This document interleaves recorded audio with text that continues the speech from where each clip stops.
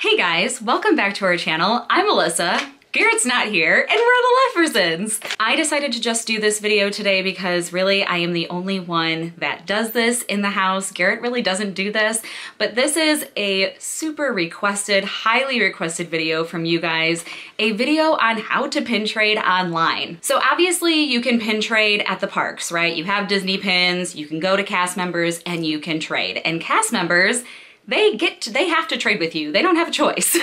but when you pin trade online, it's kind of a different atmosphere. There's definitely a lot more rules, a lot more guidelines. So I'm gonna kind of go through all of it. I'm gonna tell you what pins can you trade online, where I trade online, different platforms that you can use for pin trading. I'm also gonna show you how I take pictures of all of my traders, how I post them onto these sites. I also am going to show you how I package up my pins the correct way.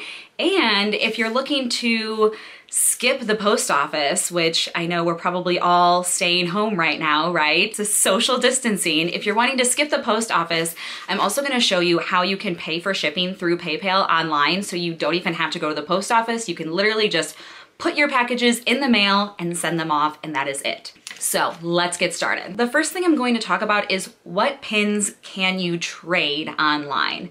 So when you go to a park and you trade pins, as long as it's a Disney license pin, as long as it has that Disney license on the back, you are able to trade it. Cast members cannot turn you down. When you trade online, it's a little bit of a different story. There are such thing called scrapper or fake pins. Sadly, they are kind of all over the internet. If you go on eBay and you buy like those big lots of pins that are maybe like a dollar or less a pin, those pins are all fake, especially if they're coming from China, another country, they're fake. I'm telling you that right now. When Garrett and I first started getting into pin trading, we were those people we went and bought them on those sites and got 50 pins for $20 and guess what? Not high quality. So fake and scrapper pins, you cannot trade online, especially through the Facebook group that I use. We trade all of our pins through the DisneyKittee pin trading group because there are like administrators and the group makes sure that no one is trading fake pins because you don't want to trade a real pin and get a fake pin. That's no fun. A lot of you guys have asked like what the difference is between real and fake pins. I wonder if I have a fake pin somewhere. This is my little pinfolio. I will show you what a real pin looks like. Hold that thought.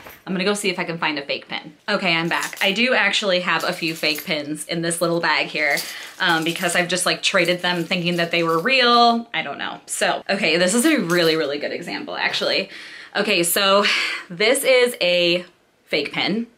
This is a real pin, okay? I'm gonna show you the back real quick. And this is just gonna be like a, I could literally do a video just on this. So this is just gonna be a, sh a short tutorial. If you notice on the back of the real one, you've got the really nice waffle back, okay?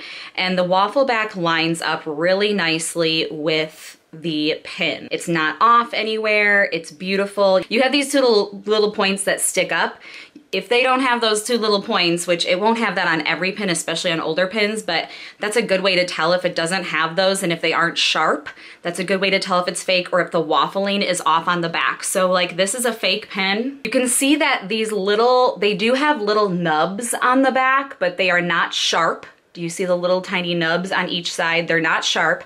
And if you can tell, this is hard to show you guys, the waffling is off. And actually you don't even see any waffling in this corner right here. Do you guys see that? No waffling in that corner.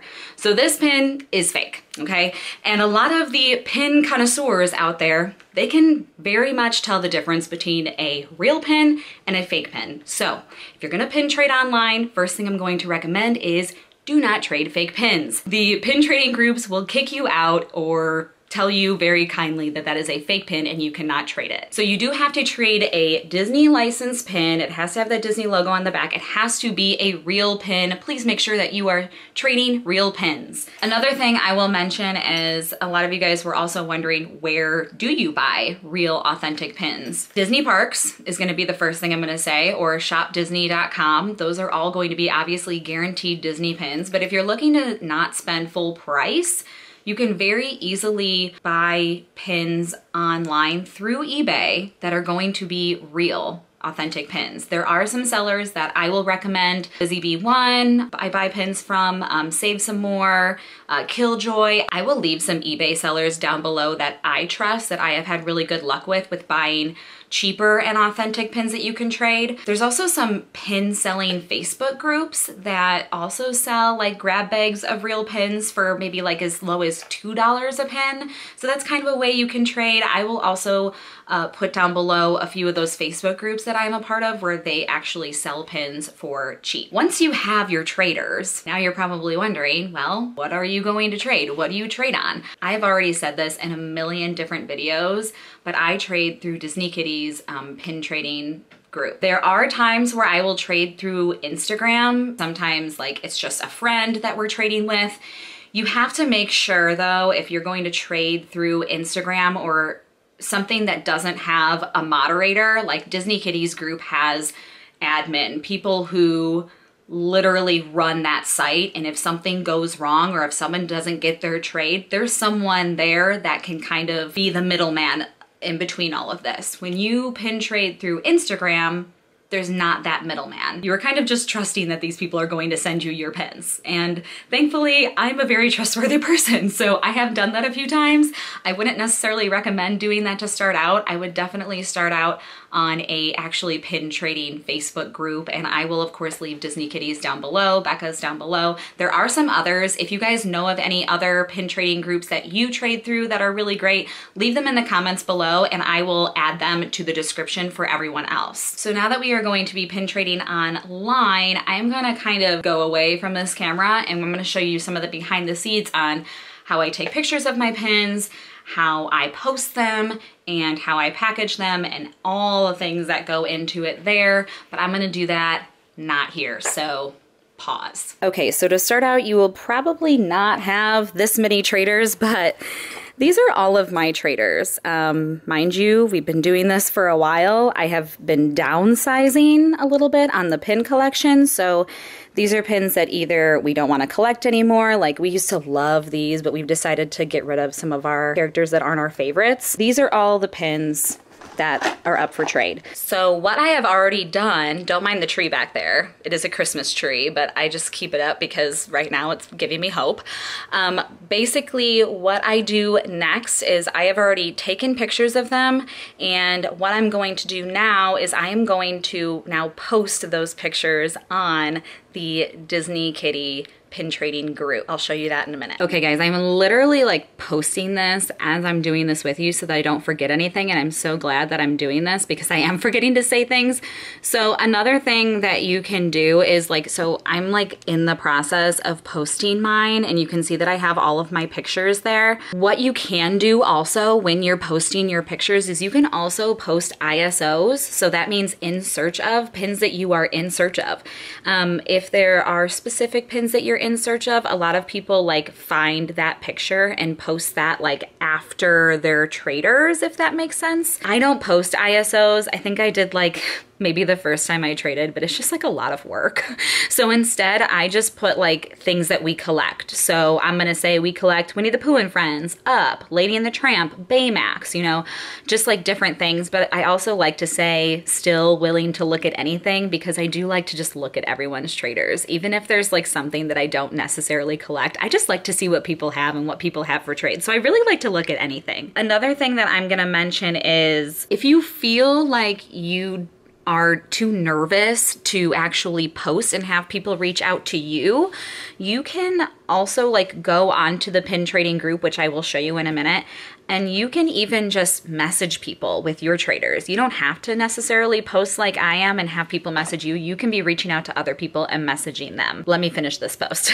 Okay, so it has been a little bit of time. I have posted my post, but I just wanted to bring up a few other things. One thing to mention is when you like post your post, you want to also say like if you are okay trading internationally or not internationally.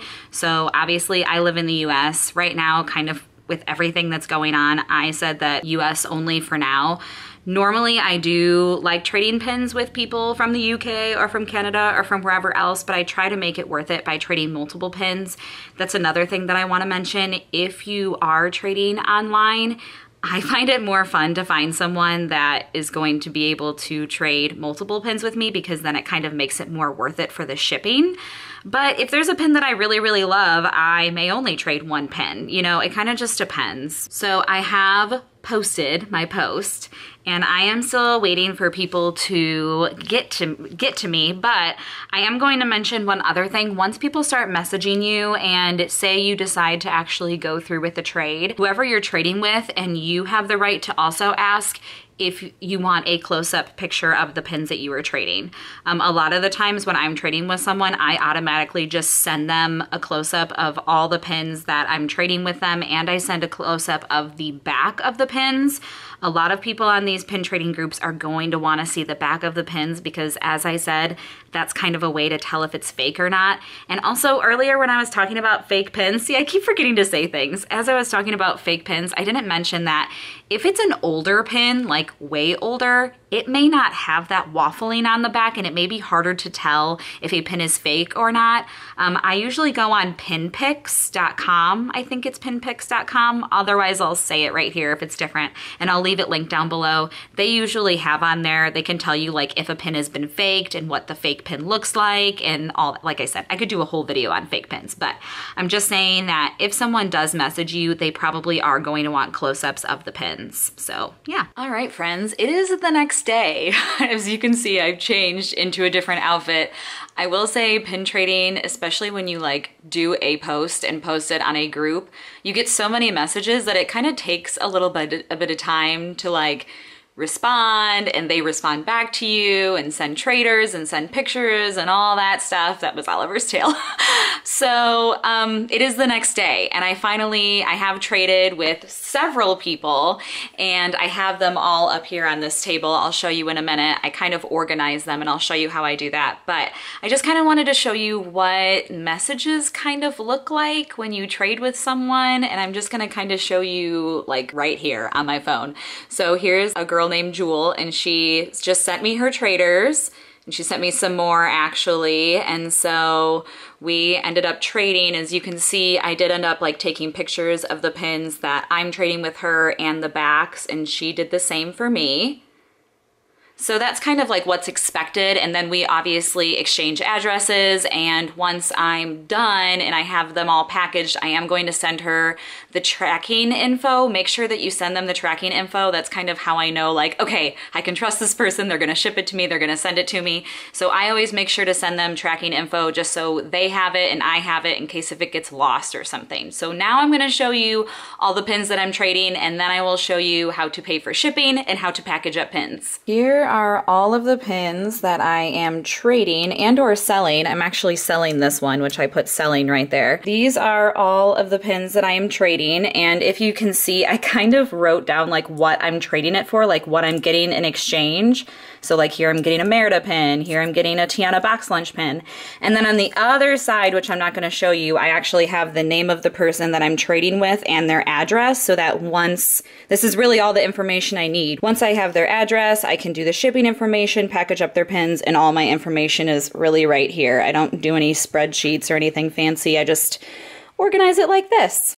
Okay, now I'm going to show you guys how you can actually pay for shipping online through PayPal so you don't even have to go to the post office. I have just logged into PayPal. This is just my main page.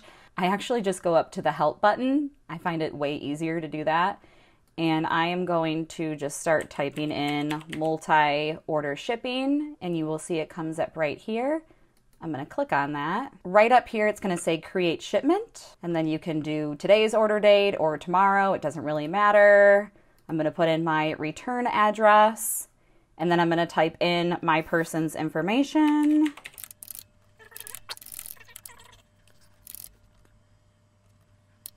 Okay, so once you have the address included, you're going to click continue.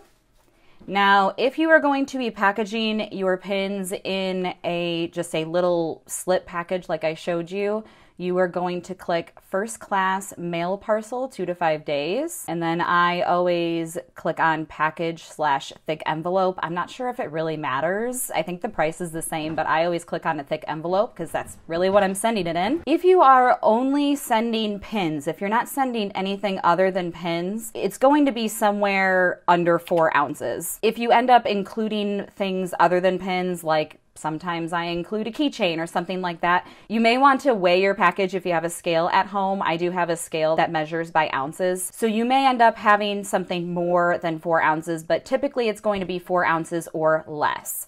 And then you do want your USPS tracking included. That's going to give you your tracking number. And then down here, you're just going to click create shipment. And then if you have multiple people that you are sending to, you can create a new shipment and that's going to bring you back to this page and you can just keep creating different things. Otherwise, if you're done, so right here is my person. This is how much it's going to cost, $2.76, which is actually cheaper than going to the post office. If you go to the post office, it's like at least 350. So then you just go down here, review and pay. So like I'm just going to pay for my PayPal balance, but if you have information in there, then you can do that. I'm going to click pay. And there we go. Now it's here, and here's the tracking number. You can send that to your person. I always just take a picture of it, but you can also type it out and send it to you, whoever you're sending it to. Then you're going to print this label and there it is for you to print out. You can just print it to your printer at home and then I just cut this part out and I'll kind of show you how I package it after that. And that's pretty much it. All right, I am actually going to show you this little container which is not normally out here. It's actually normally in the room that we film in, but it's actually back in the corner. It's hard, so I brought it out here to my living room to show you guys. But this is actually an organizer that I use for Magic Mail, which is going to sound ridiculous, but I have a Disney YouTube channel, so you kind of have to have it. You do not need to do any of this by any means, but I just like to be organized. So on the top, I normally have this in in one of these drawers, but I just bought a brand new one. This is just uh, bubble wrap. I buy all of my packing supplies from Walmart. I find it to be the cheapest. I think I got this big roll for only like five bucks and it lasts six months, maybe more, depending on how much you trade. So definitely recommend going to Walmart or ordering online. This first little drawer here is just any little extra goodies that I want to add in my magic mail. I like to add in a guide map from the parks I like to put a little note on there. So here's just some little fun notepads. Um, these are just some Sorcerer of the Magic Kingdom cards in case if I want to put any of those in there. And then other little postcards that I could add to Magic Mail. And then of course some pens and stuff. This second drawer is just stickers. I actually just organized this so it looks a lot neater, but um, I have two different little containers. These are little Marie containers that I got from actually Tokyo Kawaii Club. I'll leave that unboxing up above and down below, but in each one, these are like my nicer stickers, so ones that I can kind of more so give to people. And then this container is filled with like miscellaneous stickers, sheets that I've already used part of, just random stickers that I can add to the actual package to kind of decorate my package a little bit. This next drawer is actually just kind of some Cricut stuff underneath, but then I also have just some cardstock um, Disney paper that I've used just for some miscellaneous crafting Disney things. And this next drawer is miscellaneous things that I could add to Magic Mail if I wanted to. Keychains that we don't necessarily want, extra wishables that we don't necessarily need, these little adorable things if we want to add any of those to Magic Mail, just little things. This next drawer is actually drawer a drawer of stuff that we keep for our trips. We have some of our lanyards in here, magic bands. We keep all of our backer cards for our nice limited edition pins in case if we ever want to sell them or anything. Just miscellaneous things. And then down here I have the rest of my packing supplies. So bubble mailers, um, I have some smaller ones if I'm only trading like one or two pins, and then I have some bigger ones and some really big ones and then just tape, some fun little packing tape. And yeah, that's pretty much it. So I use everything in here when I package my pins. Now that I have everything ready to go, I have my shipping label and I have my pins, I have my address, I'm going to start packaging up my pins. Really the main thing that you need to know is that when you package these pins, you wanna make sure that these stay safe. You don't want them to bend or get destroyed during shipping. So I always recommend bubble wrap. You don't have to use a lot. I'll show you how much I use, just a little bit, but just wrap it around each pin once or twice just so that it has a little bit of cushion and uh, that way these pins will not get ruined in shipping. If you don't have this, um, we've gotten them wrapped in tissue paper before. That would work too. Even like cardboard, anything that is going to be sturdy, that is going to keep your pins secure.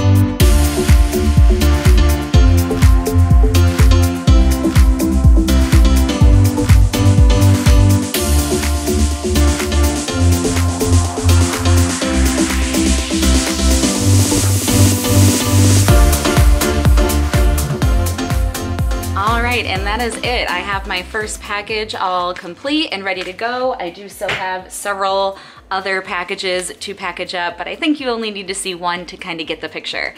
I hope that this was helpful for you guys. I know that this has been a highly, highly, highly requested video and thank you if you are still watching. Hello, Oliver. if there is anything else, any other tips and tricks you guys have about pin trading online, be sure to leave those comments down below. If you have any other questions about pin trading online, leave those questions down below. We will try to answer as many questions in the comments as possible. And if you wanna see more pin trading related videos, also comment down below. Make sure to give it a big thumbs up if you enjoyed and subscribe to our channel for more Disney content and more pin content. Thank you guys for watching. Bye. Oliver, say bye. Say bye. No? Okay.